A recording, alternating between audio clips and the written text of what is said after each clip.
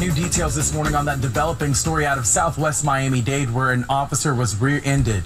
Seven's uh, Franklin White is there at the scene. And Franklin, we have a new uh, new details.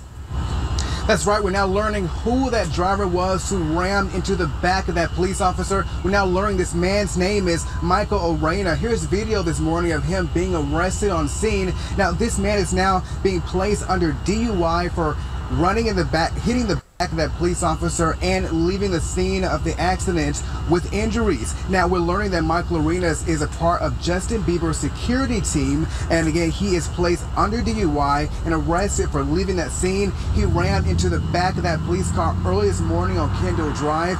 Right now police are still investigating but we do know who that person is and again as you can see in that video he was arrested on scene back here live but still learning more details surrounding this arrest and this crash once we learn more, reporting you the latest. Reporting live in Southwest Miami-Dade, Franklin White, today in Florida.